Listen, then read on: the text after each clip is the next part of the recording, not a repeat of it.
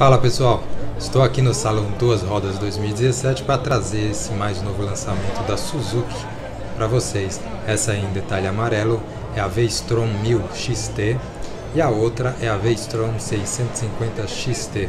Esse modelo XT possui as rodas raiadas. Como pode ver, a V-Strom 650 atualizou o visual aí, está bem parecida com a 1000. Fique ligado aqui no canal Moto News Brasil para mais novidades do Salão Duas Rodas 2017.